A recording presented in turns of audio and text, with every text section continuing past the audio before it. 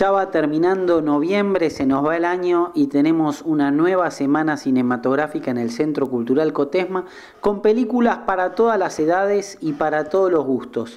Empezamos por la película infantil. Se estrena este jueves la película La familia Monster, una familia integrada por el papá, la mamá, una hija y un hijo que no es del todo feliz no está atravesando un buen momento y la madre decide invitar a todos a un parque temático que, relacionado con los monstruos. Y cuando va a alquilar los disfraces, en vez de llamar a la empresa de disfraces Drácula Inc., lo llama al mismísimo conde Drácula, que se ve este, interesado por la, la situación y convoca a una bruja para que los convierta en verdaderos monstruos. Así el padre va a ser Frankenstein, la madre va a ser una vampira, la hija una momia y el pequeño de la familia un hombre lobo. Y convertidos en monstruos van a tener que resolver y atravesar un montón de situaciones y no van a poder volver ser humanos hasta que no sean verdaderamente felices. Esta es la propuesta infantil, va a estar todos los días a las 18 horas. Por otro lado, sigue una semana más la película La Liga de la Justicia, este tanque de la compañía DC Comics, eh, que son un poco los este, competidores de Marvel y que dejan todo en esta película en donde va a estar Batman, la Mujer Maravilla, Flash, Aquaman, este, Cyborg y Superman tratando de salvar el mundo eh, y enfrentar a los malvados. Sumamente entretenida en su versión 3D. Si no la pudiste ver esta primera semana de su estreno, va a seguir una semana más. Y el plato fuerte viene de la mano de Espacio Inca porque llega a San Martín de los Andes la última película de la gran directora argentina Lucrecia Martel. Su título es Sama, fue eh, ganadora de muchísimos festivales internacionales, la crítica la ha calificado como obra maestra y además es la película que seleccionó Argentina para que nos represente en los premios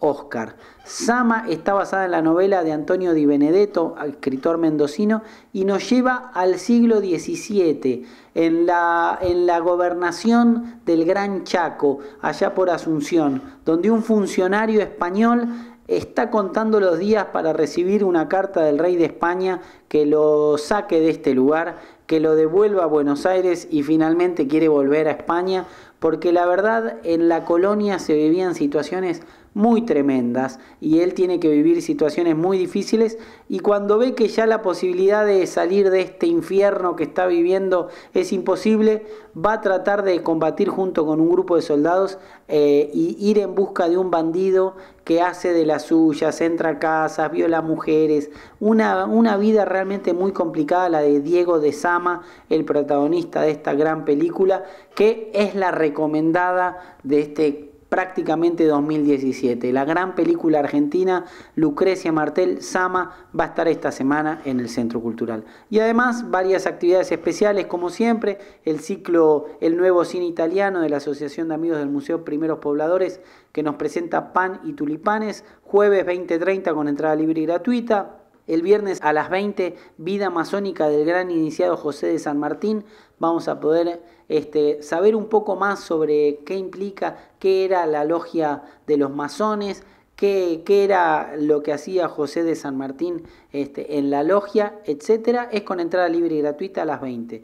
Y el domingo a las 4 de la tarde, Andes Games Evolution, una nueva edición de esta propuesta divertidísima en donde la sala Gunter Blas se llena de consolas, de televisores y hay torneos de juegos como el PES 2017 y 2018, el Dragon Ball Budokai, el Killer Instinct, Mortal Kombat, Street Fighter, los mejores juegos para pasar una tarde de mucho entretenimiento también en la Gunter Blas. Así que como siempre eh, vamos despidiendo el año. En el fin de semana las muestras de teatro de Sandra Monteagudo con sus distintos niveles.